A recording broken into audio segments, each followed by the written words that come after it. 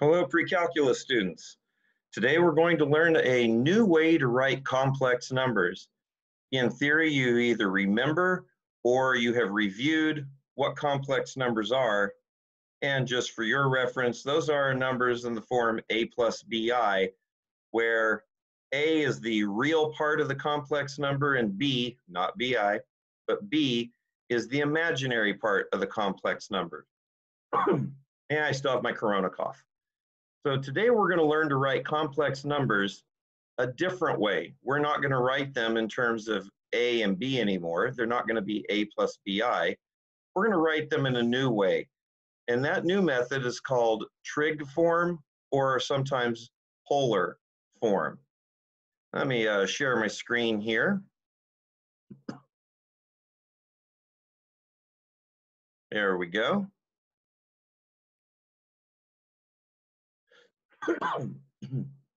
Now here we have a complex numbers in the form a plus bi, where i is the square root of negative 1. That's our imaginary number. when we graph complex numbers, we don't graph them on the xy plane, we graph them on the complex plane, sometimes known as the Argand plane. Um, the x-axis now becomes the real axis, and the y-axis becomes the imaginary axis. All of our trig functions still work the same way on this plane. It's just that without um, an i, how would we know that this is a complex number? So if we're graphing the number 3 plus 4i, we go 3 units in the real direction and we go 4 units in the imaginary direction. That's why 3 is the real part and 4 is the imaginary part, not 4i. That's just how far we went in the imaginary direction. That's our imaginary part. If you have the real number 5, you can write it as 5 plus 0i. Now that's 5 units on the real axis, 0 units in the imaginary axis. Since it's on the real axis, you know that it's a real number. So you notice that real numbers are either positive direct um, in the positive side of the real axis and negative numbers are on the negative side of the real axis. Everywhere else up here and down here, those are um, imaginary numbers.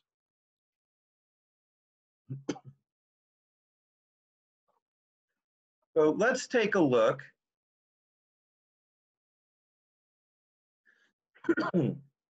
Let's see, I should blow that up, shouldn't I? There we go. Let's take a look at the imagine at the complex number 1 plus i. Hmm.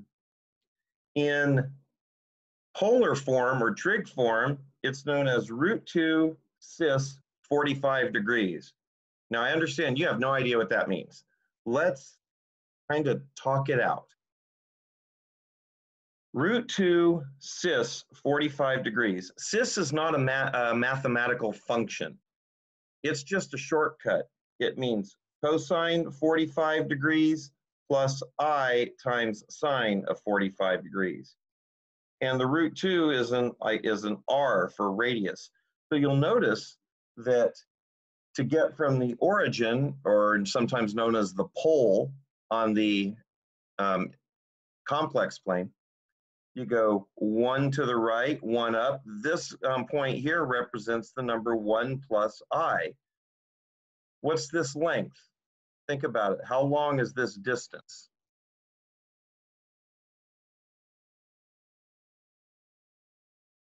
Well, if this is one, this is one. One squared plus one squared is two. Take the square root. This distance is root two. So that's where the root two comes from. What is this angle?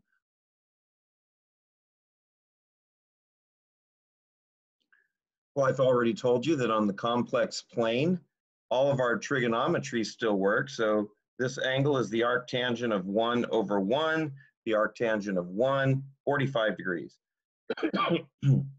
so that's where the 45 degrees comes from.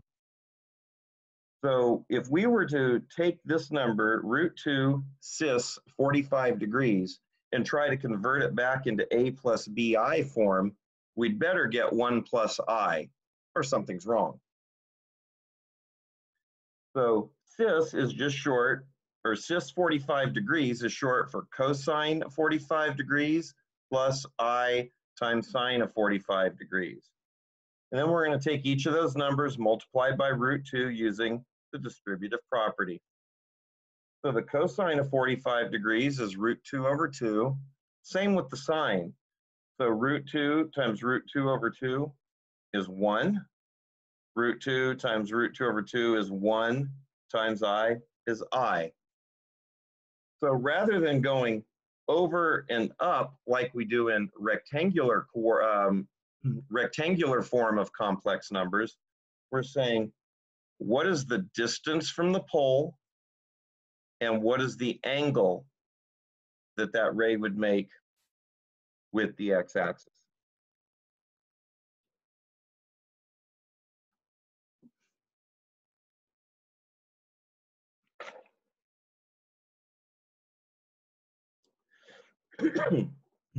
so if z is our complex number, it has a real part and an imaginary part. Again, the imaginary part is not bi, and that's very important. The imaginary part is just b. The absolute value, we write that we mean the magnitude. How far is that number from the pole?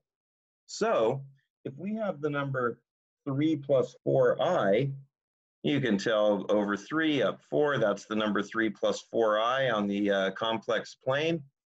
It's 5 units away from the pole.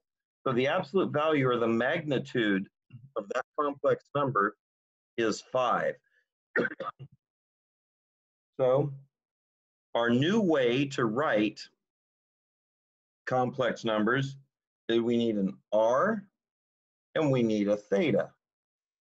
What is theta? Well, it'd be the arctangent of 4 over 3, which is approximately 53.1 degrees. I like to go out to the 10th place on these angles.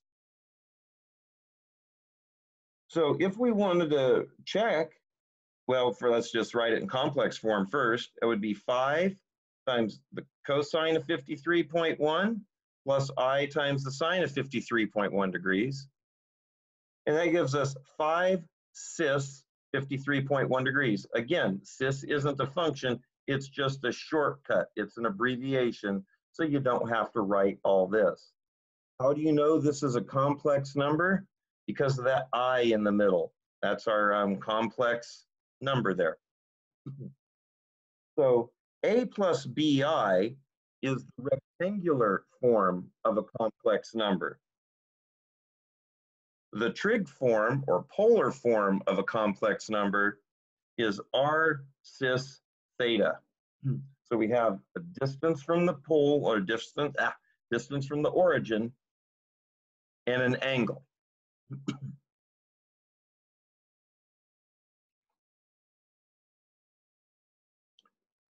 now, when we add complex numbers, we add their real parts together. 2 plus 4 is 6 we add their imaginary parts together.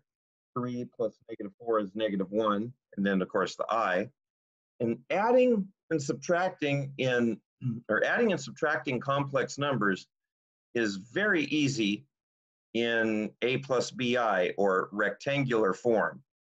Multiplying complex numbers, not so easy. Because to multiply these two numbers, you have to do the FOIL method. F is first, 2 times 4. O is outside, 2 times negative 4i. I is inside, positive 12i. L is last, negative 12i squared. Well, negative um, i squared is positive 1, so negative 12i squared is plus 12. Combine the imaginary parts, combine the real parts, and you get the answer 20 plus 4i. Not easy, not difficult, but not easy. Multiplying complex numbers is super easy in polar slash rectangular form. If you have one complex number, R1 cis theta 1, and you have a second complex number, R2 cis theta 2. To multiply them, you multiply the R's, add the thetas. And there's a derivation of that in your book. You multiply the R's, add the thetas.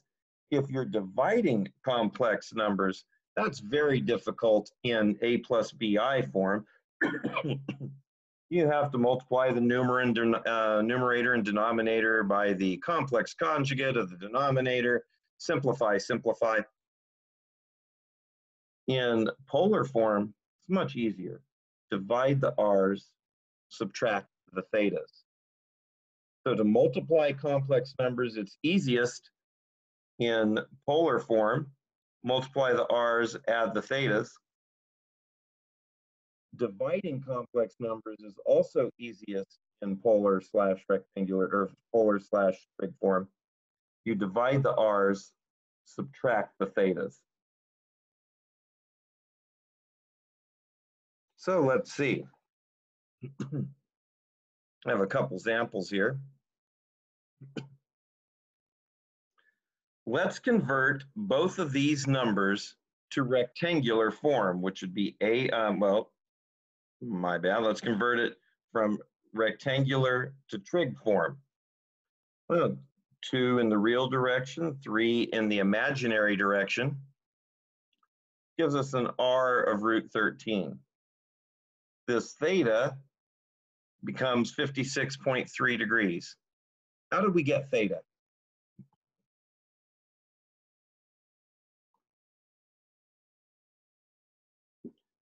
We took the arctangent of 3 halves, and since we're in the first quadrant, we don't need to add anything to that.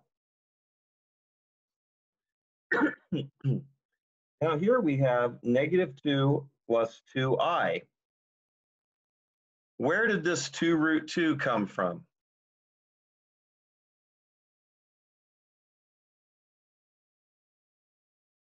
Oh, negative 2 quantity squared plus 2 quantity squared is 8. Square root of 8 is 2 root 2. So this distance here, this hypotenuse, is 2 root 2. Where did the 135 degrees come from? Well, you take the arctangent of 2 over negative 2, and that would give you an arctangent of negative 1. And that would give you negative 45 degrees. But you can tell by looking that we're in the second quadrant, not the fourth. So negative 45 degrees has a 45 degree reference angle. What second quadrant angle has a 45 degree reference angle? Well, that's going to be 135 degrees. Let's check our work. Let's make sure that we got the correct answers for both of these.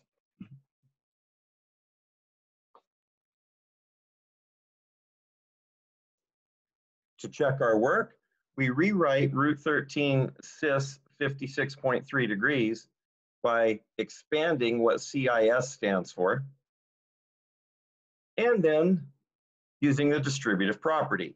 You take the cosine of 56.3 degrees. I'm probably not going to use a table. You, most of you probably don't know how to use a table because we haven't taught you. So use your calculator, multiply it by the square root of 13, and you should get 2 um, with some rounding error. Same with the sine of 56.3 degrees times root 13, you should get 3 with a rounding error and times i. Same for 2 root 2 cis 135 degrees.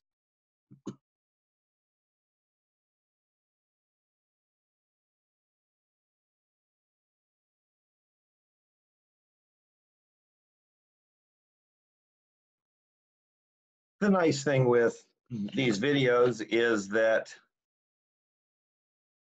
if you don't have time to write everything down. Why is that there all of a sudden?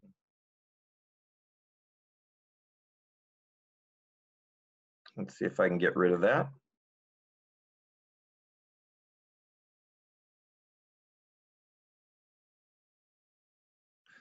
Don't know what happened there. All right, hmm. Let's move this picture out of the way. So if we want to multiply these two complex numbers, you can see again the FOIL method, and we get 3 plus i. Well, the first number, 1 plus i, you should be able to figure out that that's root 2 cis 45 degrees just by looking at it. Right 1, up 1. Now this next one would be right 2, down 1. You'd need a little um, trigonometry for that, but you should be able to get root 5 cis 333.4 degrees. To multiply those two numbers in complex form, multiply the r's, root 2 times root 5 is root 10, add the thetas. 333.4 degrees plus 45 degrees is 378.4 degrees. But that's more than 360. We don't like that. Let's just pick a coterminal angle, 18.4 degrees. So there's our um, first lesson in complex numbers in polar or trig form. If you didn't uh, write all this down because I went too quickly, that's the good thing about videos. You can go back and watch them as many times as you want or need to.